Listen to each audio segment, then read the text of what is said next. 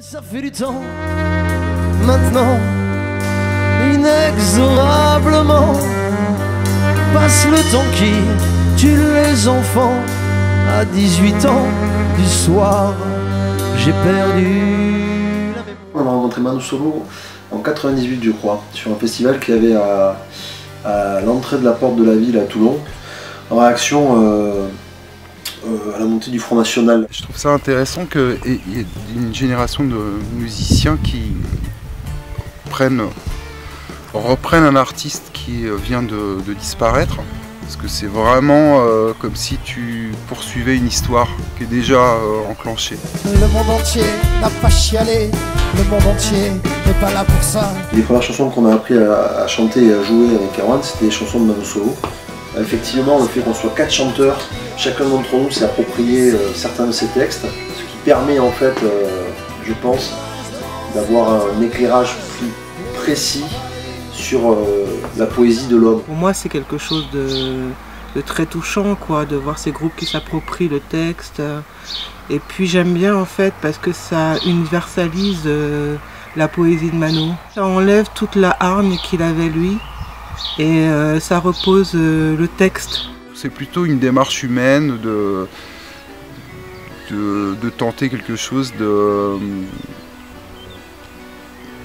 qui apporte de l'espoir individuellement. Je trouve que c'est un projet plutôt individuel. Mano Solo, c'est c'est aussi un projet d'un être humain qui se bat pour lui-même. Allez viens, nous construirons ensemble la nouvelle, la nouvelle déchirure.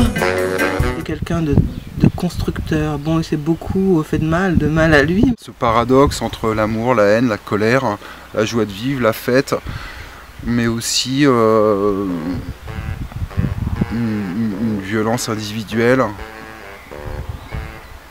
euh, une lutte pour la vie. J'aurais voulu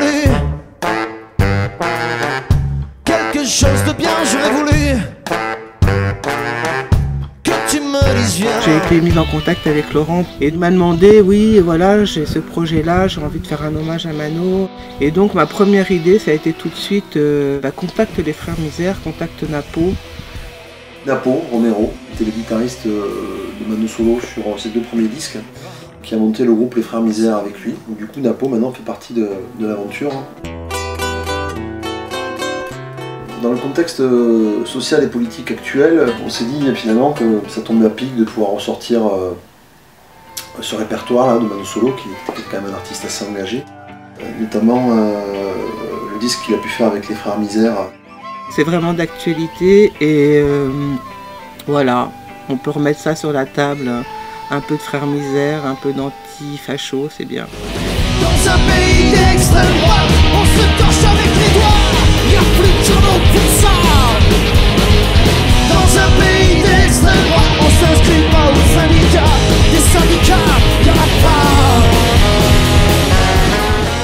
International Chalala, il y a toujours plus profond que le fond.